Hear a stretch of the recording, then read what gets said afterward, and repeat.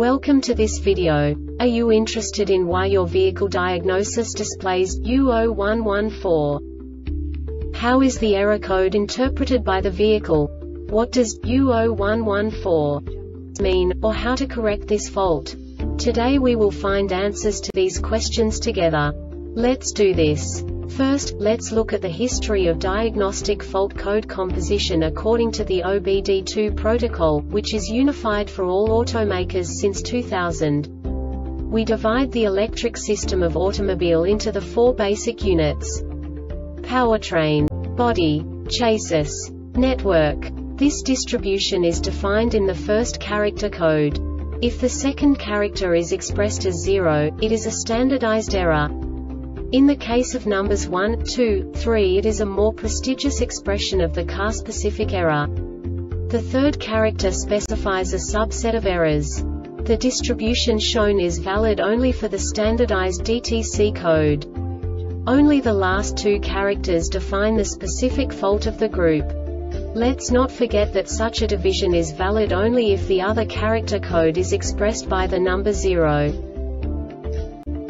Our website airbagreset.sk produces useful videos for you.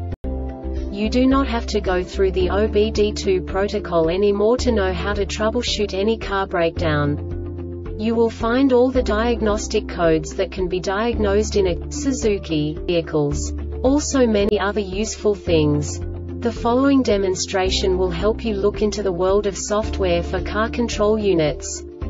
You unbelievably can move the video a bit further.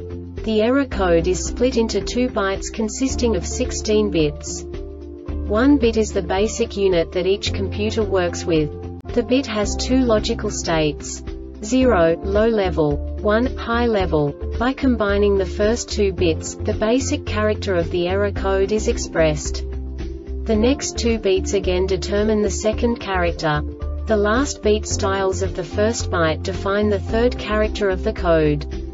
The second byte is composed of a combination of 8 bits.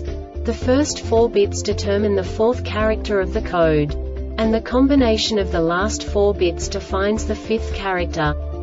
A single byte conceals 256 possible combinations. We now know in what way the diagnostic tool translates the received information into a more comprehensible format.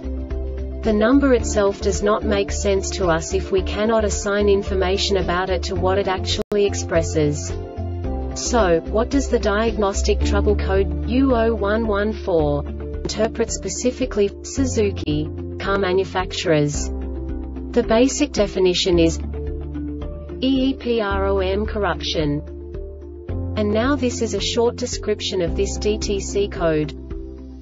Faulty IPM. The Airbag Reset website aims to provide information in 52 languages.